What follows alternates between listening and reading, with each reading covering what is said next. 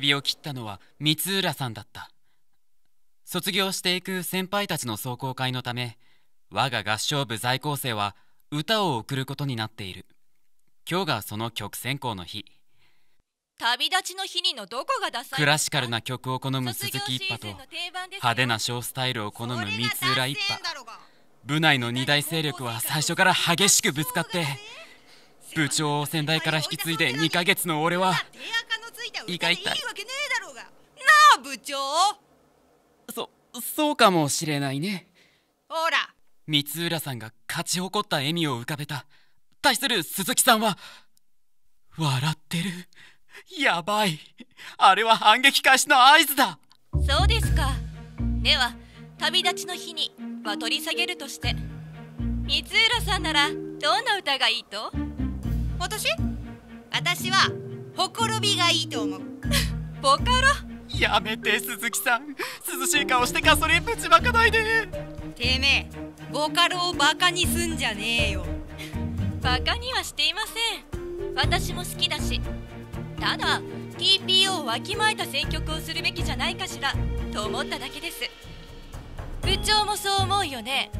そこで俺に振りますか。部長？ああそうだねボカロは卒業の歌だぞ。ぴったりじゃねえか。だよね。全国合唱コンクール2位の実績を持つ私たちが1年を締めくくるにふさわしい曲ではありませんよね。ですよね。部長？部長？はい。部長はどっちなんだよ。あえああぼ僕は。部長？えっとボカロの曲は斬新。ですが定番の曲がやっぱり無難ではないかとも思うんですが教室中の部員の目が俺に注がれている。そのクラクラしてきた。どっちを選んでも意義ありの大合唱からは逃げられない。どうしよう。こうしたらどうだろう。杉原先輩なんなん？僕は通りすがりの合唱好きさ。先輩。わずかに開いたドアの向こうから杉原かりん合唱部の仙台部長が覗き込んでいる。マッシュアップしちゃえよ。マッシュアップ？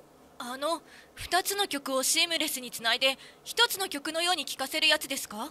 さあ定番の曲とそうでないものをうまいこと融合させ一つの曲として歌い上げる一度で二度おいしいし異なる個性を一つに合わせていい歌声を響かせる。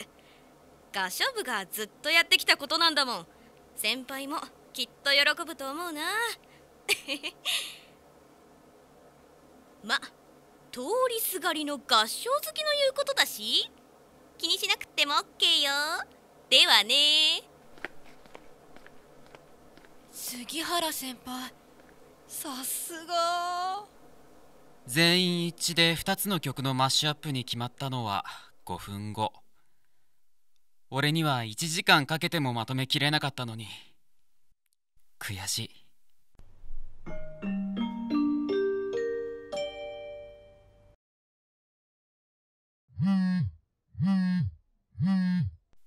夜杉原先輩からメールが来た。選曲がどうなったのか気にしてるらしい。少し迷ったけど思い切って電話してみることにした。どうなった？マッシュアップになりました。あっさりと。楽しみだ。で？は？わざわざ電話してくるんだもん。それが本題じゃないでしょ？鋭い。ご用件は手短に。あのはいはい。俺をどう思いますか？ですよね。そうやって肯定しちゃうところがすごく頼りないね。うん頼りない。ならなんで部長に押したんですか？私は何も？嘘いいですよ。聞いたんで。かりんさんが猛烈に俺を部長に押したって。部長経験者がそこまで言うんだからきっとこいつには何かあるんだなって。高峰そう思ったって高峰口軽いな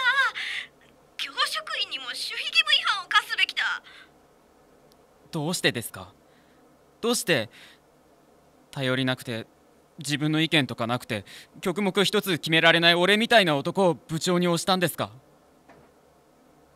聞いてどうするの？どうするって？理由を聞いて気に入らなかったらまさか部長を辞めるの？それは。ちょっとそれは100年の恋も冷めるよねどんな理由であれ翔太君は今合唱部の部長だし私は翔太君がみんなをまとめていいチームを作ってくれると信じてるんだけど。かりんさん。このタイミングで甘えたにならない。すいません。本番までまだ3週間ある。頑張れよ。私を感動の渦に巻き込んで涙の海で歴史させ かりんさん。できるよね新部長。多分。ほんと頼りないね君は。方針が決まり練習が始まってからも鈴木派と三浦派はことごとく対立。間に挟まった俺は胃が痛い思いをしながら妥協点を探り結果として歌は対立を乗り越えるごとに良くなった。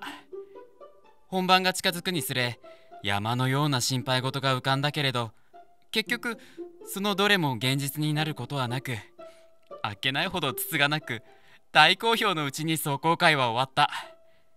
部長としての初仕事を俺はなんとか乗り切ったのだ。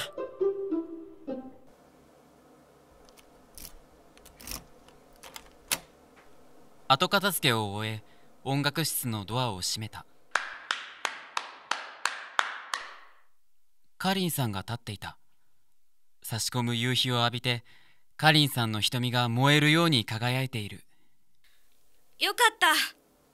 歌も進行も。翔太君の仕切りも。かりんさん。でもさすがに心配だったよ私は翔太君は部長の器だって思ったけど評価が私の中で水増しされてないとも限らないじゃ。んねえ。かりんさん。私の彼氏はちゃんと部長の器だった。それが実証できてよかった。かりんさんが笑った。この人は 一つ年上なだけなのにこの人に俺いいように転がされてる。ちくしょう。お疲れ様。綾坂新部長。かりんさんの唇が俺のに軽く触れた。そうかこれがかりんさんの俺の彼女の高校生活最後のキスになるんだ。